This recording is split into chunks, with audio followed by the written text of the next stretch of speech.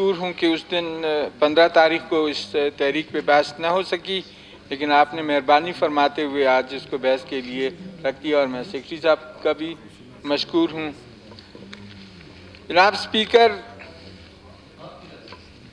اغوا برائے تاوان، مینلی تو یہ شیخ ماندہ میں عبدالکریم آغا کے بیٹے کو چودہ اگست کو اغوا کیا گیا تھا اور چار نومبر کو پچاس لاکھ روپے تاوان لینے کے باوجود اس معصوم بچے کو جس کی عمر سولہ برس تھی، اس کو میزی اڈے کے قریب اس کی لاش پھینک دی گئی۔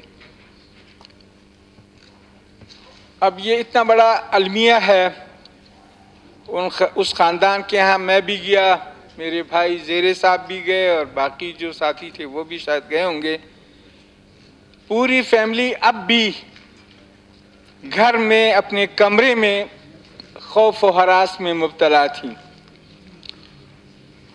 بہت بڑا خاندان، بچے لاہور میں پڑھ رہے ہیں۔ یہاں کاروبار اگر کرتے ہیں تو گھر سے نکلتے وقت اب ان کی یہ پریشانی ہے کہ ہماری سیکیورٹی کیا ہوگی؟ ہمیں تحفظ کون فراہم کرے گا؟ تو یہ ایک اتنا بڑا المیہ ہے جس کا الفاظ میں بیان نہیں ہو سکتا۔ جناب سپیکر، اغوا برائے تاوان، یقیناً حکومت کی موجودگی میں اور قانون نافذ کرنے والے اداروں کی موجودگی میں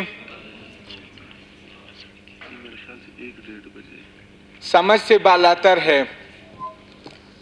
واضح حقیقت یہ ہے جناب سپیکر، کہ کانسٹیٹیوشن جس کی حکومت بھی پابند ہے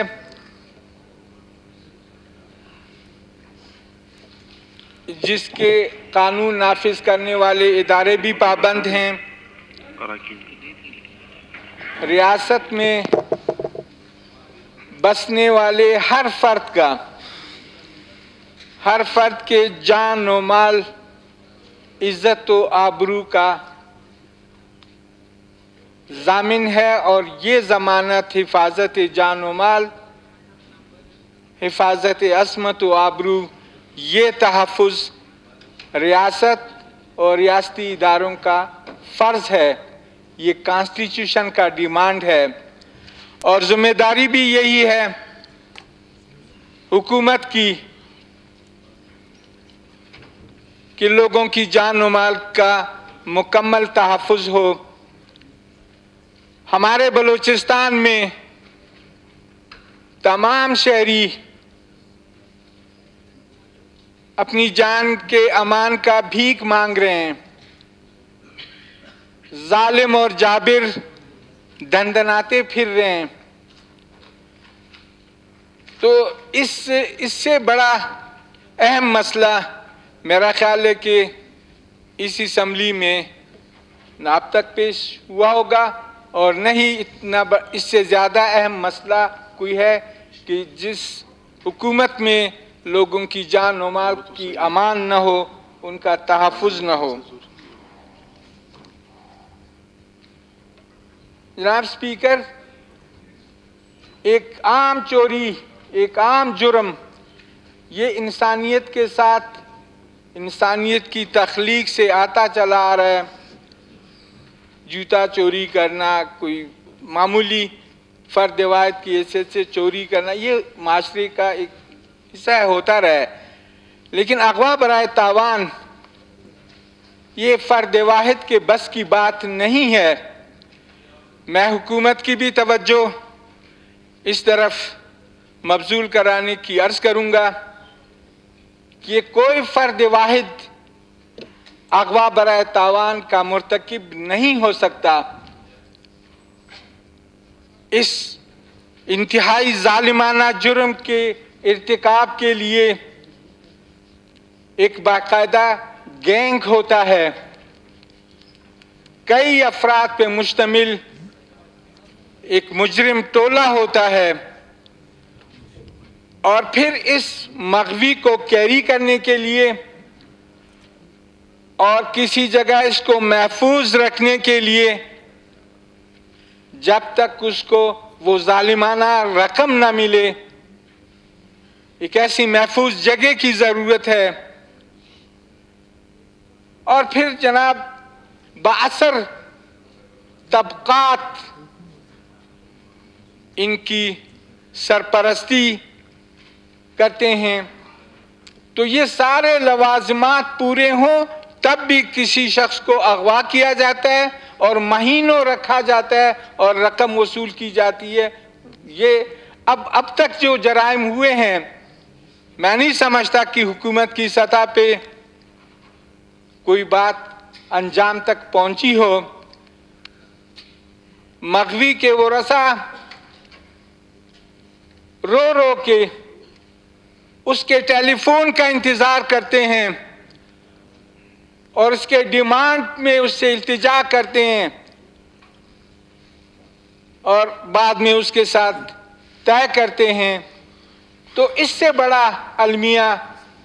جناب سپیکر، آپ مجھے بتائیں کہ کسی ریاست کے ہوتے ہوئے، کسی حکومت کے ہوتے ہوئے، کیا یہ جو گینگ ہیں، یہ کیسے میں مانوں، یہ کیسے ایک پروڈنٹ مائنڈ کا فرد مانے کہ اتنے بڑے شعبے کے لوگ کیسے ہو سکتا ہے کہ حکومت یا قانونی قانون نافذ کرنے والے اداروں کو ان کا علم نہ ہو۔ اور پھر اگر یہ کنٹینیو ہوتا ہے، تو پھر آپ مجھے بتائیں جناب سپیکر کہ اس خاندان کی کیا پوزیشن ہوگی؟ جو بیس اور تیس افراد پہ مشتمل ہیں۔ اس کا ٹیلی فون آتا ہے جناب سپیکر، اور مغوی رو رو کے چلا چلا کے کہتا ہے کہ جی اس کو یہ پیسے دو، خدا کے لیے میری جان بچاؤ، خدا کے لیے میری جان بچاؤ۔ اگر اس بچے کا یہ ویڈیو میں نے دیکھا تو یقیناً میں، میرے بس میں تو نہیں رہا۔ بچہ چیخ چیخ کر سولہ سال کا بچہ ہے۔ چیخ چیخ کر پکار رہے کہ بابا اس کو پیسے دو، میری جان بچاؤ۔ تو آپ اس بیس تیس افراد کی فیملی کی کیا صورت ہوگی؟ اور پھر یہ جو ایک کروڑ تیئیس افراد اس بلوچستان میں رہتے ہیں اور سب اس معاملے سے خائف ہیں، ان کی کیا کیفیت ہوگی؟ تو میں سمجھتا ہوں کہ یہ جو مجرم ہیں، ان کی تہ تک پہنچنا پہلی ذمہ داری ہے۔ لوگوں کی جان و مال کا تحفظ دینا پہلی ذمہ داری ہے۔ اور اگر یہ جان و مال کا تحفظ نہیں ہو سکتا لاجیکلی یہ کوئی نہیں مانے گا کہ اتنا، اتنے بڑے ان کے شعبے ہیں اور یہ جو، جہاں جہاں ان کے پوکٹس ہیں، جہاں جہاں ان کے لوگ ہیں، جہاں جہاں یہ لوگ اس طرح کی واردات کرتے ہیں، یہ کوئی نہیں مان سکتا کہ اس کا تدارک نہیں کیا جا سکتا۔ کہ ایسے جرائم ہیں ہم بھی اس میں کہتے ہیں کہ تدارک نہیں ہو سکتا، لیکن اتنا بڑا شعبہ بلوچستان میں کوئی ایسا ڈپارٹمنٹ اتنا بڑا ڈپارٹمنٹ نہیں ہے جتنا ان اغوا برائے تاوان کے جو گینگ ہیں۔ تو میری گزارش ہے کہ اس اس اہم مسئلے پہ آپ